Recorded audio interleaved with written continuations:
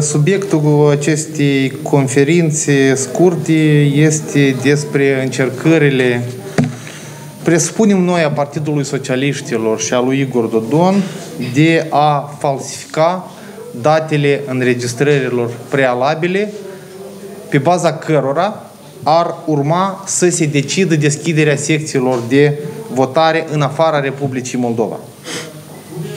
Ehm, cunoaștem că atât codul electoral cât și regulamentul aprobat de CEC prevede posibilitatea cetățenilor noștri din afara țării de a se înregistra prealabil ehm, pentru ca ulterior, pe baza acestor înregistrări prealabile, să se deschidă secții de votare în afara țării.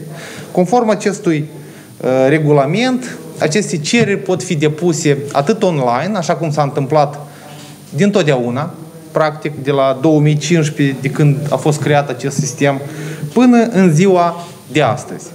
Cât și înscris. Deci există această posibilitate. Uh, numărul acestor înregistrări prealabile este un criteriu, unul din cele trei criterii uh, prevăzute de lege, pe baza cărora se decide numărul și locația secțiilor de votare din afara țării.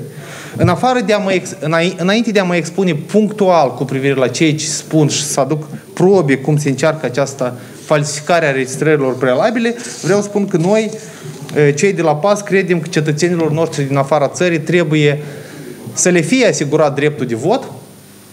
Toți cei care doresc să voteze trebuie să aibă această posibilitate în ziua votării, indiferent că ei sunt din est sau din vest. Deci nu contează că sunt în Federația Rusă sau sunt într-o țară membra Uniunii Europene.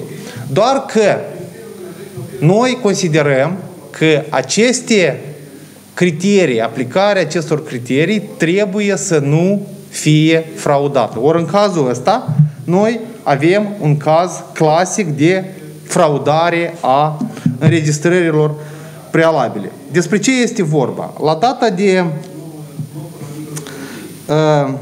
7 august 7 august 2020 la Comisia Electorală Centrală a parvenit o cerere semnată de doamna domnișoara Sitorean Daria, originară din Ocnița. Această doamnă a adus cereri de înregistrare prealabile, chipurile pentru 300 de persoane care s-ar afla în Federația Rusă și care solicită deschiderea secțiilor de votare în Moscova și Sankt Petersburg.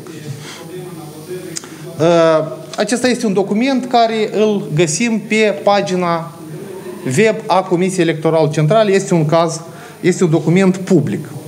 Uh, atât cererile respective, cât și mai ales conținutul acestor cereri denotă indicii foarte clare că aici lucrurile au fost falsificate uh, pentru că am vorbit cu oamenii noștri din Ocnița, membri simpatizanții pasului din Ocnița. Deci această persoană, Daria Sitorean, în 2020 nu a ieșit din Republica Moldova. Deci ea s-a aflat în Ocnița. Pe de altă parte, iarăși conform discuțiilor cu oamenii noștri, persoanele care au semnat în această listă ca și cum doresc să se deschidă secții de votare, mai multe persoane, pentru că sunt 300, nu uh, putem să-i verificăm pe, pe toți, dar cel puțin în raport cu câteva persoane, oamenii ne-au spus cu siguranță că această persoană nu a intrat în 2020 în Republica Moldova.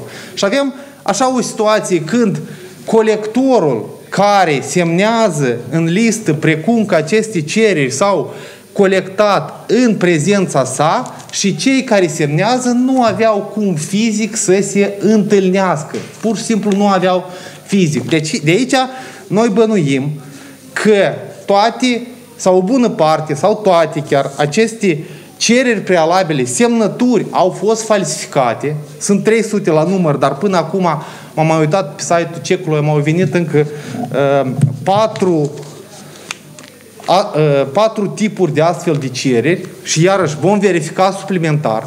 Dar, din punctul nostru de vedere, există dubii foarte clare că aceste semnături și aceste date au fost falsificate, având în vedere că se solicită deschiderea secțiilor de votare în Moscova și în Sankt Petersburg, presupunem că aici sunt implicați exponenții Partidului Socialiștilor, care, iată, prin astfel de metodă urâtă, o metodă destul de josnică, pentru că pun într-o situație neplăcută o persoană care are, am impresia că vreo 20 de ani, este o tânără uh, persoană care formal are calitatea de colector, pun într-o situație uh, foarte neplăcută de a, practic, de a încălca legea.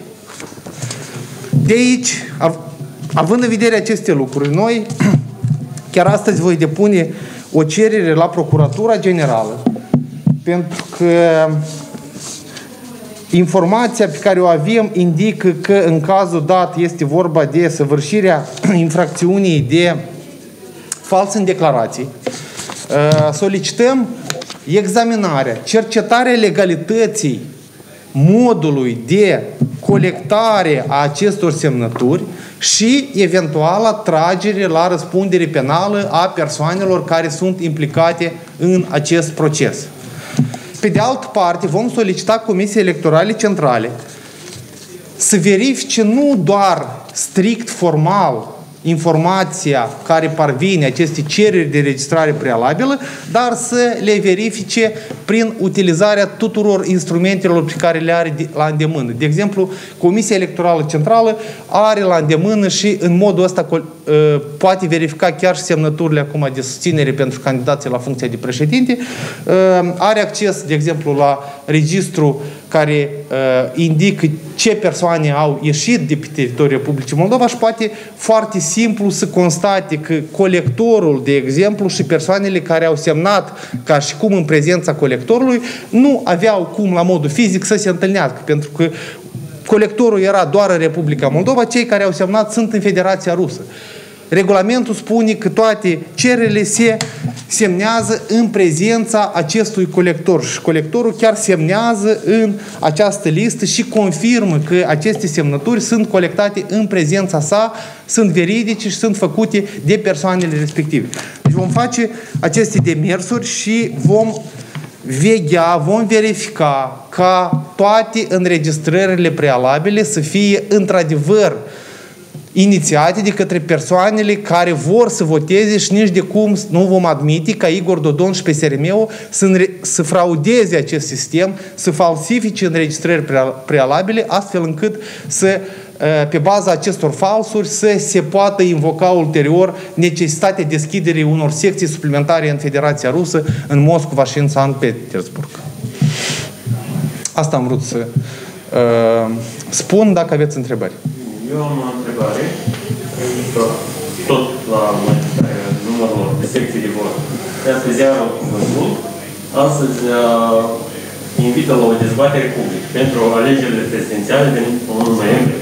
Comisia Electorală Centrală intenționează să deschidă în rezină 5 secții de votare pentru alegătorii din Transnistria, în loc de una, cum era de la independență în clașă. Ce opinie aveți?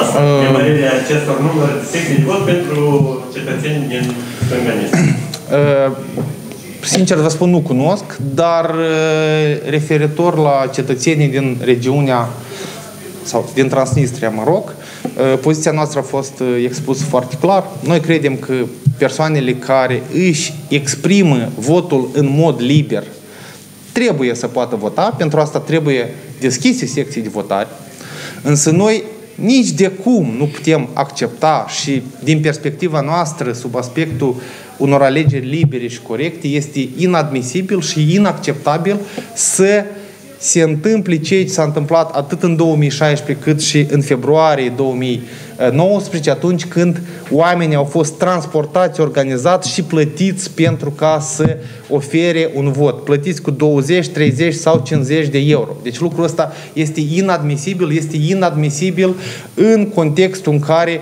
noi vrem să organizăm alegeri libere și corecte. Dacă ne uităm uh, Ehm, la istoria tuturor scrutinilor parlamentare. De obicei, în regiunea transnistreană participă la votare 1000, 2000, 3000, 5000, deci acestea sunt persoanele care într-adevăr vin singure, se interesează ceea ce se întâmplă în Republica Moldova, uh, au un atașament față de reîntregirea Republicii Moldova și, și sunt interesați de numele celui uh, care urmează să fie ales președintele. Dar cei 37 de mii sau din cei 37 de mii care au votat în februarie, sunt oameni plătiți cu 20, 30 sau 50 de, mii de euro pentru un vot și lucrul ăsta este inacceptabil. Deci aceste alegeri nu sunt a priori libere și corecte, aceste alegeri sunt fraudate. Deci nu pot aceste persoane determina sau înclina balanța în favoarea unui sau altui candidat. Lucrul ăsta este inadmisibil. Votul tuturor trebuie să fie liber exprimat, adică el nu trebuie să fie influențat de aceste uh, resurse financiare care li se oferă pentru acordarea unui vot. Mulțumesc, o zi bună!